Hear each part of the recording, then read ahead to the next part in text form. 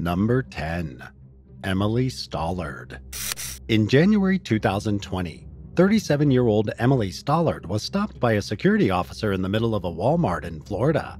At first, it looked like she was minding her own business, looking at items and shopping like a regular person. However, upon further inspection, the guard saw that she was holding an odd looking object that turned out to be a homemade bomb. Stollard had apparently been walking around the building with her young son for over an hour. She was carefully pulling things off shelves to make the explosive device out of a mason jar, nails, and kerosene. Thanks to the help of the security team and a customer, she was quickly taken into custody before she was able to light the bomb off.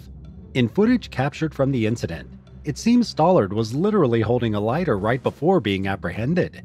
When she was asked what she was doing, the woman simply laughed and told police officers the makeshift explosive wasn't hers. They obviously didn't believe her though. In the end, the suspect was given charges of arson, child abuse, firebombing, and more for the stupid stunt. Number 9.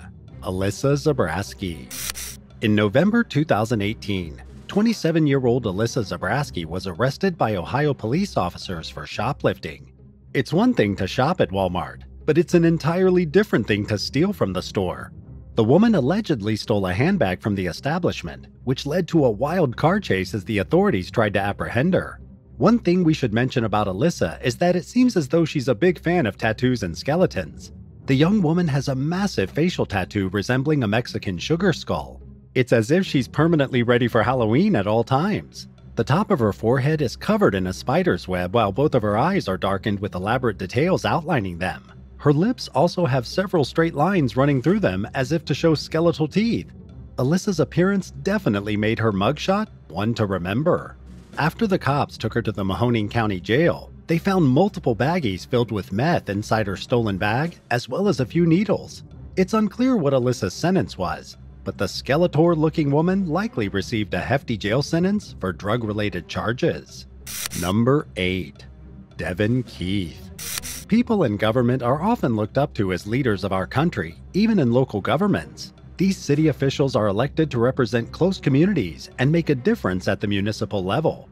Unfortunately, not every person holding a government seat follows the laws of their country. A city councilman from Huntsville, Alabama named Devyn Keith is just one example. The 34 year old man was arrested in early February 2023 for shoplifting at, you guessed it, Walmart.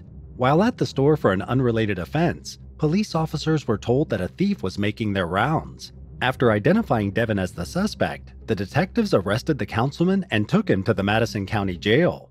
As the youngest city council president in Huntsville history, Devyn really let his community down with his actions. He'd been serving his local government since 2016 and overlooked one of the largest districts in his city. The exact charge that Devyn received included fourth degree theft of property, this usually implies that the stolen goods totaled less than $500. The police didn't tell news outlets exactly what items the representative stole, but it was Walmart, so it was likely something meaningless. Number 7. Group Mentality Walmart is known to have some strange customers. Not everyone who shops there is weird, but there are quite a lot of odd individuals that tend to frequent the store. On January 4, 2023, the Richland County police officers responded to an urgent report that a crazed man was walking around a Walmart in Columbia, South Carolina, while waving a knife around. He was also apparently screaming insults and threats at employees and customers who were just trying to mind their own business. During the outburst, bystanders tried to calm the man and attempted to get him to put the knife down, but it wasn't working. Instead, he said that he'd start slashing at people as soon as the police got there he even got up close to a witness's face with a sharp weapon. Thinking that the situation could quickly escalate, a nearby veteran named Demario Davis, who happened to be grocery shopping with his son at the time, decided to take action. On video captured by a scared witness, he was seen taking down the suspect. Davis hit the man on top of his head, which caused him to drop the knife. Thankfully, the veteran and his son were able to keep the criminal on the ground until authorities arrived. A crisis intervention team took the crazed individual to a hospital in order to assess him.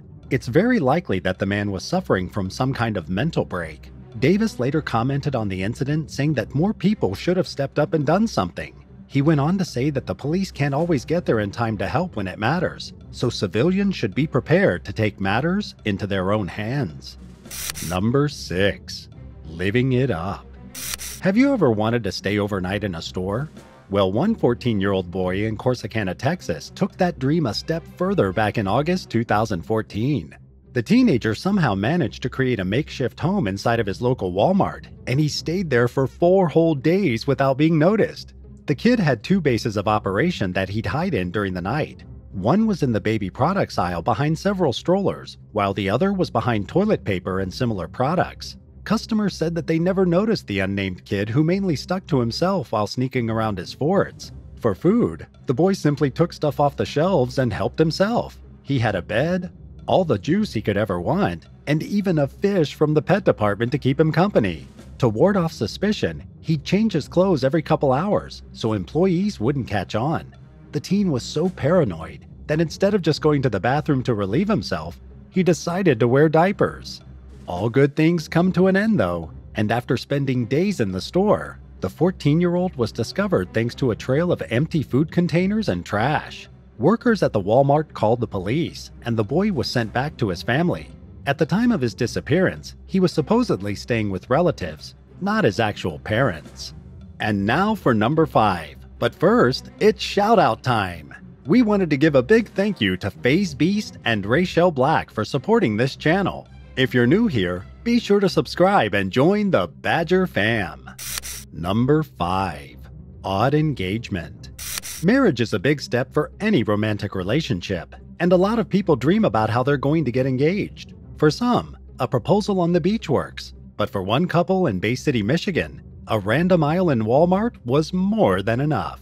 25 year old William Cornelius Jr. asked his 20 year old girlfriend Sherry Moore to spend the rest of her life with him. He had an employee read out a love confession over the store's intercom system as he got down on one knee with a $30 ring he'd purchased from the store he was proposing in.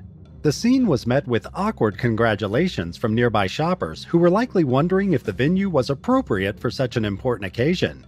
It didn't bother the lovebirds, though. If anything, it strengthened their feelings for one another. That very same night, the future groom robbed another store in the area, making off with an edible thong and a sex toy from Spencer's Gifts. After being taken into custody and questioned by the authorities, William said the stuff he stole was all for Sherry. This information was confirmed later on when police heard about the events earlier in the day. Apparently, Sherry also had a stolen pair of earrings and a necklace on her that she'd taken from her proposal venue. It seems like this couple was a match made in heaven, and the two of them truly deserve each other. William was charged with third degree retail fraud, but was released on a personal recognizance bond. And before Sherry was arraigned on any charges, which included larceny, she too posted bond. Number 4. Andre Bing. A manager of a Walmart in Virginia went on a rampage in November 2022. In a fit of rage, 31 year old Andre Bing shot and killed six workers inside the facility's break room and six more people were injured in the crossfire. Before police could arrest him, Andre turned the weapon on himself and took his own life. The manager had worked for the store for about 12 years before this incident. At the time, he was a team leader for overnight staff. There doesn't seem to have been any obvious motive for the massacre, but many employees remember being exhibiting strange behavior. Some claimed that he believed he was being watched by the government this may indicate that the man was suffering from some kind of mental issue or severe paranoia. 50 people at the property had evacuated by the time authorities arrived. A witness who saw the gunman said that the suspect walked out of the staff room before returning and shooting at the victims. Doctors believe that all six who were injured will make it through and recover. The Walmart headquarters reached out and commented on the senseless tragedy, saying, We are focused on doing everything we can to support our associates and their families. At this time, it doesn't seem like anyone else had any involvement with the attack. Number 3. Teenage Rage. Kids and teenagers these days are crazy, and four young girls from Louisiana between the ages of 12 and 14 were no exception back in January 2021. The suspects apparently murdered another 15 year old girl at a Walmart location. After the act, the group went online to brag on their social media accounts. One reportedly said, Oh well, she dead now, showing an abhorrent lack of remorse. The stabbing was live streamed, and the girls involved were quickly identified by law enforcement. During the search for the teens, police publicly posted surveillance footage showing the girl responsible for the stabbing itself. She was arrested on second degree murder charges, while the other three were taken into custody for being principals to the young girl's death. The murder weapon was a stolen knife from the kitchen aisle at the crime scene. The authorities believe that the fight between the suspects and victim first started at a movie theater near the Walmart. The community was devastated by the news, and the sheriff begged local parents to have more involvement in their children's lives and take more control so something like this would never happen again. With so much video evidence showing clear intent with no remorse, the girls will no doubt be found guilty for their actions. Number 2. Preston Lamar Nelson. In August 2022, a woman was intentionally hit by a car in the parking lot of a Decatur, Alabama Walmart. The person responsible for killing Sherry Sane was 33 year old Preston Lamar Nelson. The man had apparently pulled into a designated handicap parking spot and sat in his vehicle for a few minutes. However, when Sherry walked behind his car, he stepped on the gas and ran into her. Preston struck not only the woman, but also another vehicle in the lot, which damaged his own car. After this, he tried to escape, but a witness told him to stop. By then, the man's car had stopped working thanks to the damage, and he was unable to flee successfully. Police were able to arrest him, and thankfully, no one else was hurt that day. Sadly, though, Sherry's injuries were too great, and she lost her life. Preston was immediately taken to the Morgan County Jail after the incident, and it seems that he asked for a psychiatric evaluation. Given the killer's mental health history, the likelihood of this incident being related to a mental issue is high. Preston was booked into the local Morgan County Jail on a $500,000 bond, but the case is ongoing. Number 1. Jessica Vega. It's every parent's worst nightmare to lose their children, but one of the last places you'd expect it to happen would be a grocery store. In San Antonio, Texas in September 2022, a woman attempted to kidnap a young child inside a local Walmart. 35 year old Jessica Vega apparently grabbed the cart of the four year old girl's mother and started pushing it while the kid was peacefully sitting inside. Apparently, another one of the mother's children was holding on to it at the time, but Jessica simply yanked it away. As soon as she realized her cart and child weren't where she'd left them, the mom started yelling at the abductor. Luckily, a nearby employee saw everything and stopped Jessica before she could successfully get away. After being arrested by police for attempted kidnapping, the suspect reportedly said, addressing the girl's mom, Just because she's yours doesn't mean I can't take her. Jessica has also been involved in previous incidents related to shoplifting at a different Walmart location. The woman's mugshot is incredibly unsettling, and it looks as if there's evil in her eyes as she stares into the camera, grinning slightly. If we had to guess, she almost looks proud of what she's done. That's all for today. Thanks for watching the video. What would you do if you were stuck in a Walmart overnight? Would you live it up?